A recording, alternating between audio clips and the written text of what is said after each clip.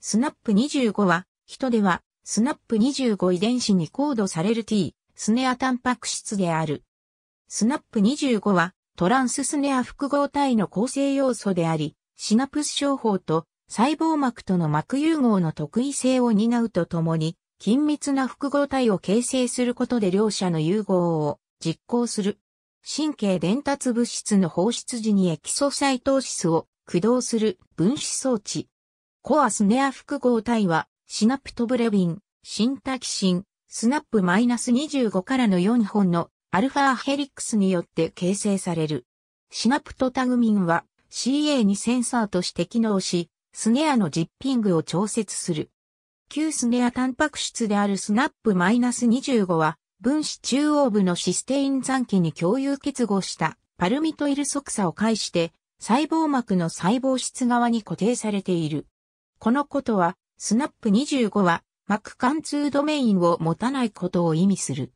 SNAP-25 は4本のアルファヘリックスドメインからなる SNARE 複合体に2本のアルファヘリックスを提供している因子として同定された。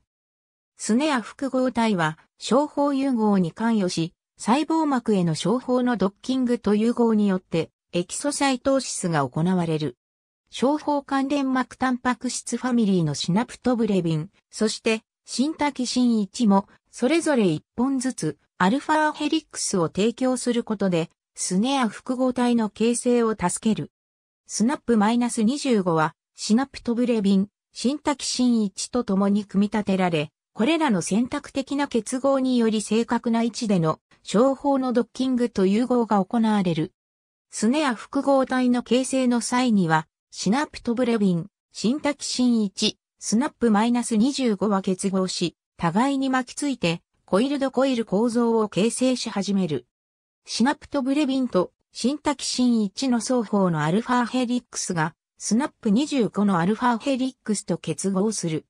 シナプトブレビンは、 SNAP-25 のアルファヘリックスの C 末端近傍に結合するが、シンタキシン1は N 末端近傍に結合する。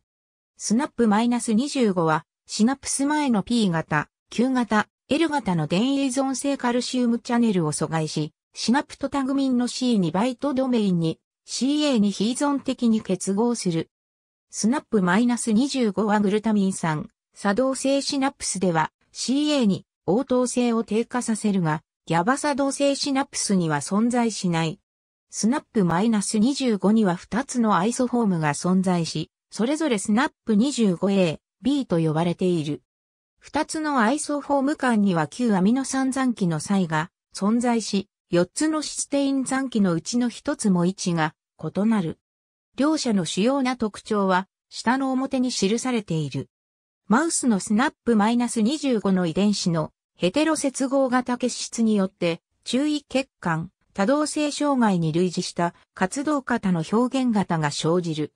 このことは、スナップ -25 がシナプスでの CA に応答性を調節していることと一致する。ヘテロ接合型マウスでは ADHD 治療薬アデロールの有効成分であるデキストロアンフェタミンによって活動型の緩和が観察される。スナップ -25 のホモ接合型結質は致死である。その後の研究によって人のスナップ25遺伝子の変異の少なくとも一部は ADHD の素因となる可能性が示唆されている。ゲノムワイド関連解析によって、この遺伝子の RS362584 多形が神経症傾向と関係している可能性が指摘されている。ボツリヌストキシン A、C、E はスナップ -25 を切断し、ボツリヌス症の麻痺を引き起こす。スナップ -25 は次に挙げる因子と相互作用することが示されている。ありがとうございます。